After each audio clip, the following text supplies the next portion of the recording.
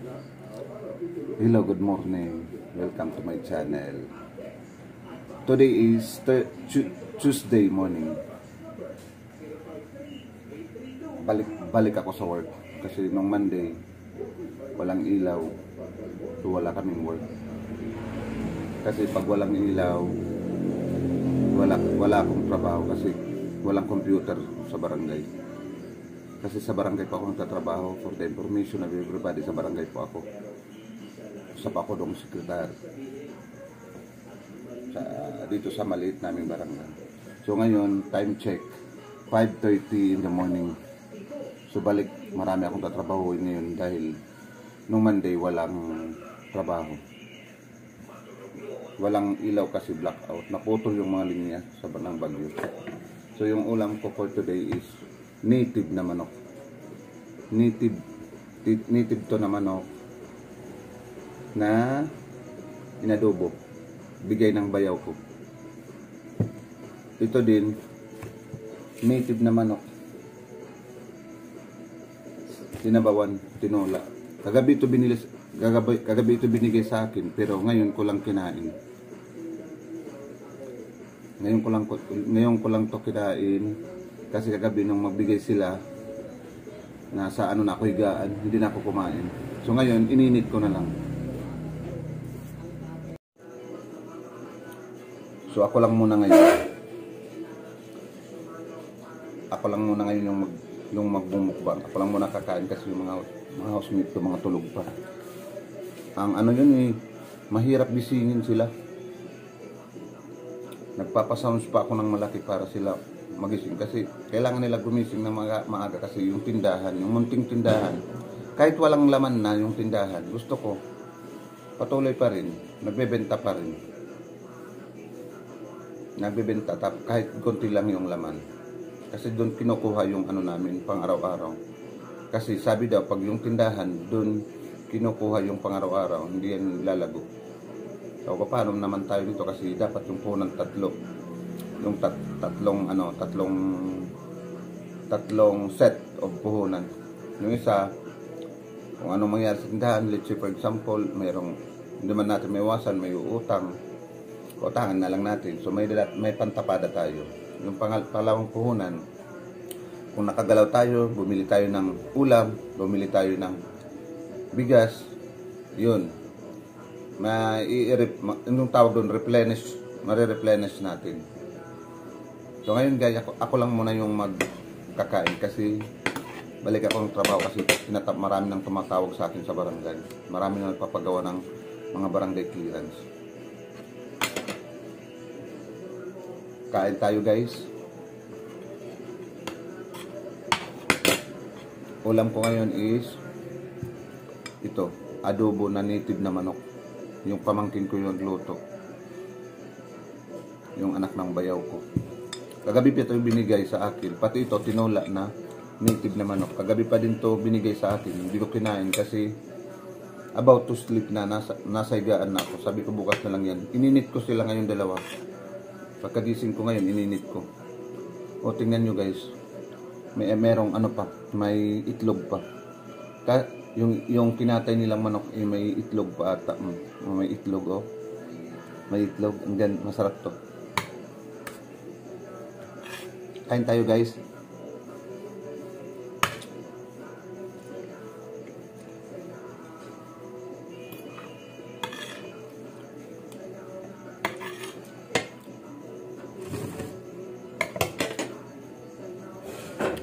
So yung pagluto dito ng ano ng tinulang manok, linalagyan ng papaya. Tapos yung dahon na ang pang aroma, pang pabango. Linalagyan yun.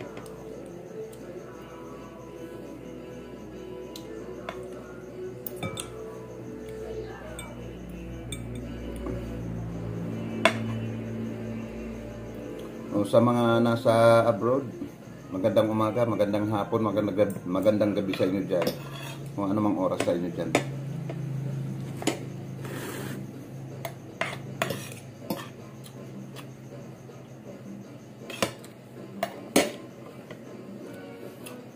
Yung bahay nila, Jean, dyan lang sa likod ng bahay ko. Yan, oh. bahay nila Jing Astor. Pag dumungaw ka dyan sa bintana, pag dumungaw ka dyan sa bintana, bahay na nila yan. Kasing magkadikit lang, dingding lang ang pagitan na, ng bahay ko. Yung bahay nila Jing. Jing Astor.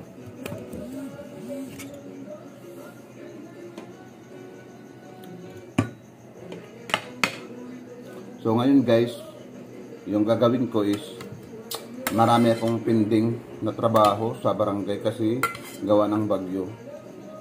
Baka maglisting kami o maghanap maghanap kami ng bahay na nasira.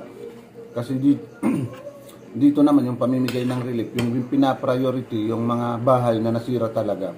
Yung mga affected families, yung mga indigent, yung mayroon na sa buhay, yung medyo angat na sa buhay, parang hindi namin priority. Pero pag sobra talaga yung relief, binibigyan, binibigyan namin lahat. Inuuna namin bigyan yung mga in need. Yun ang trabaho namin sa barangay.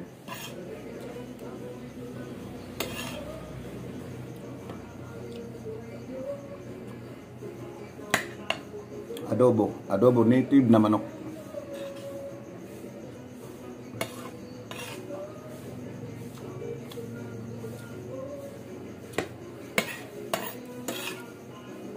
Bigay ito ng bayaw ko. Ito, bi- bigay din ng bayaw ko. Pag mayroon silang mga ulam, binibigyan nila ka, binibigyan na niyan nila talaga ako. Kasi alam naman nila na malapit ah, na madali akong malapitan nila. Kahit anong pangailangan nila. Ako yung madaling lapitan nila.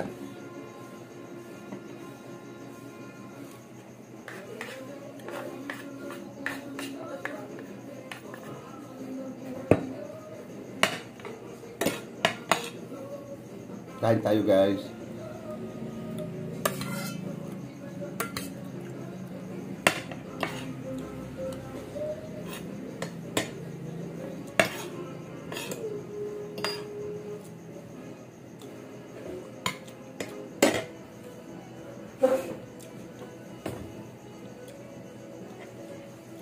Back to work ako ngayon. Kasi nung magbagyo, nawalan ng kuryente. Eh sa barangay, walang generator. Yung hinahawakan ko puro computer. Kasi ako yung sekretary ng barangay. Noon kasi, yung trabaho ko, ano ako, I used to be a medical representative for 3 years. Nagahinti po ako ng ano, mga medisina. Tapos, nandun ako sa ano sa, sa direct selling company. Mga ganyan, no. Ma- yung mga assignment ko puro malalayo out of the out of town malalayo yung ano ko, nandun ako sa Maasin, Samar, Ormoc, doon ako. Pero nung nagkamar, nagkaroon ako ng comorbid, comorbidity sa, sa katawan ko, parang hindi ko na kaya ba mag-isa. Takot ako mag-isa, bumiyahe. Nagkaroon ako ng panic attack, nagkaroon ako ng anxiety. Iwan ko, ba't, ba't, ba't nag-sink in yan na sakit sa katawan ko? Bigla na lang akong nangihina, bigla na lang akong may kinakatakutan na parang ganon nagpa-consult ako ng doktor, nagpa-check up ako, sabi ng doktor, wala ka namang, ma- and, wala, wala ka, mga normal naman yung mga test mo, labor, laboratory test mo, mga normal naman. Sabi. Tapos may isang doktor sinabihan ako, may lahi ba kayong ano, mentally ill? Kasi wala ka namang narakay, baka ulit-balik ako ng ER. Na, pero palagi ako mapapa-emergency. Sabi ng isang doktor. Parang, may lahi ba kayong ano, mentally ill? So kung wala, napagkamalan pa ako may sira ng ulo. Simula doon hindi na ako nagpa ano, hindi na ako nagpa-check up. Kasi sinabihan ako na baka daw may lahi kaming ano, sira ulo. Tapos nag-research ako sa Google. Mayroon akong nakitang group chat, mayroon akong nakitang page na panic o anxiety and panic attack. Doon ko nakita nung binasa ko. Nung binasa ko yung ano, yung yung lahat ng nandoon, yun yung nararamdaman ko. Doon ko palang nalaman na yung ano ko, yung karamdaman ko is anxiety and panic attack. Bigla na lang ako nangihina, hindi ako makagalaw. Hindi ako makagalaw, hindi ako makakilos. Tapos yung, yung isip ko puro negative. Last 2019 yun. Tapos sabi doon sa group chat, be positive lang. Think positive. Ayun. Ayun, nung ano, nung nung nandun na ako sa grupo, nalaman ko na yun pala, yung ano ko, karamdaman ko. Anxiety. and panic. Tinanggap ko na siya, tinanggap ko na siya. Pero ngayon, may isang may isang araw na bumabalik sa akin na nanghihina ako. Kaya, ayun, parang hindi na ako fit in sa trabaho na ano, malayo, na walang kasama. Kasi parang atakihin ako. Ganun.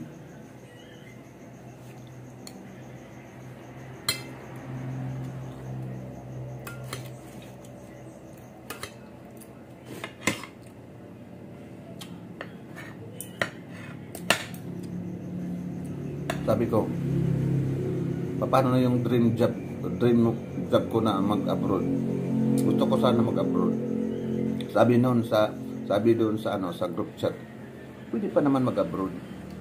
Huwag ka lang mag-isip, huwag ka lang mag-isip ng ano ng ng negative. Yun, nagka-anxiety ako nung ano nung last 2019 July nung yung pressure nung blood pressure ko tumaas parang na mild stroke daw ako sabi ng doktor pero pero wala namang sign wala namang sign na na-stroke ako nung kasi nung ipa-CT scan yung ulo ko wala naman nasira wala naman daw nasira sa akin sabi ng doktor that is ischemic and transient attack yung stroke daw na parang hindi natuloy ischemic and transient attack. Now, yung, yung, nag- yung nag-iwan sa akin noon, simula noon, nung ano ko, yung nagre-ring yung tenga ko. Nagre-ring. Eh, ganon, nagre-ring yung tenga ko hanggang ngayon.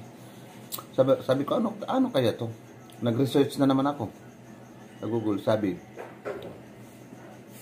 Tinnitus do ang tawag, tinnitus. T-I-N-N-I-T-U-S. Tinnitus. Sabi ko, ano yung tinnitus? That is not a disease. This, that, di, kwanda ko na, hindi daw yan sakit. Hindi daw siya sakit. There's no cure for that kasi hindi siya sakit. Hindi siya sakit. That is a sign of underlying problem has, sa, sa ano mo, sa katawan mo. Meaning daw, meron ka daw ano, ah, may underlying problem daw yung ano mo katawan.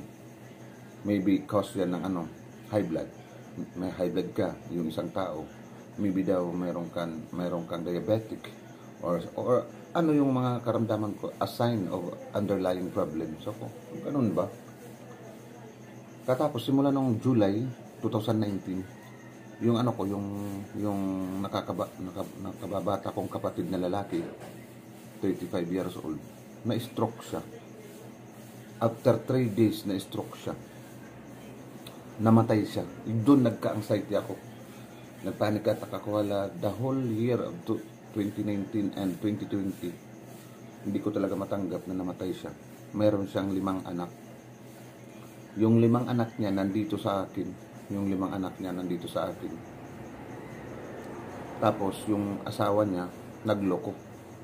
Nagloko nakapangasawa dito. Buntis na pala. Sabi, nag-usap kami noon na tutulong siya sa pagpalaki or pagpapaaral ng mga anak niya. Ayun. Sabi daw niya, oo kuya. Nagtrabaho siya. Nung umuwi siya, meron na siyang ano, parang meron na siyang ka, parang karelasyon ba? Yung karelasyon niya, pare ko pa. Kumpare ko pa. May mga anak din. Nawala sila dito sa lugar namin. Katapos, yung bata, mga anak niya nandito sa akin. Sad to say, yung mga bata, na-attach na ako dun sa school. Kinuha niya. Dun niya. Dinala niya pa uwi sa Zambales. Yung mga bata. Hindi niya, hindi siya nagpaalam sa akin. Ayun, hindi siya nagpaalam sa akin. Kinuha niya yung mga anak niya dun sa school, sa eskwelahan. Eh ngayon, yung mga bata, chat ng chat sa akin to, kumusta ka? To, pahingi to ng ano to, to, pahingi ng ganyan, to, pahingi ng ganito. Eh, sabi ko sa kanila, marami akong mga pamangkin dito, yung dito sa akin, yun lang mga, matutulungan ko. Kasi marami na kayo. Nandun sila sa Sambales. Doon na lang kayo kasi kung meron ako, yung isa, kasi yung, yung panganay na babae, alam ko, senior high na, pinadalan ko siya ng ano, ng laptop, yung hindi ko na ginagamit. Kasi yung ano daw, gagamitin niya sa pag-aaral. Yung hindi ko na ginagamit dito na laptop, ibinigay ko sa kanya.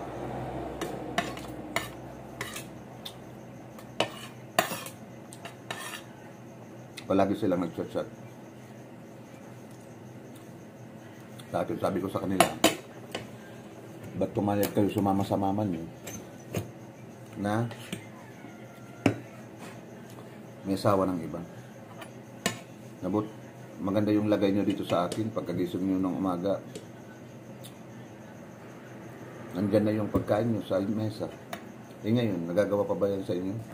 Sabi nga ng mga pamangkin ko, yung papa namin hindi nag hindi nag ano, hindi nag ganyan. Pagkagising namin may mga pagkain niya sa mesa. Kasi yung kapatid ko na namatay barumbado yun. Kaya hindi rin ako nagalit sa hipag ko na naghanap ng iba. Kasi yung trato ng asawa niya ng kapatid ko hindi maganda. Pero yung inanuhan ko lang bakit siya yung inasawa niya may asawa din nandito sa amin saka dito sa amin kumpare ko pa. May mga anak din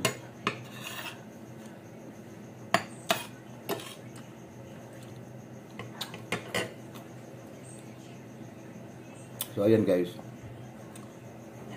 Tapos na. Tapos na yung kwentuhan natin. Sa susunod naman, kukwento ako kung ano yung ano ko, yung who am I. Yan muna. Ako yung tito, ako yung tito ng maraming pamangkin. Single po ako, pero maraming obligasyon.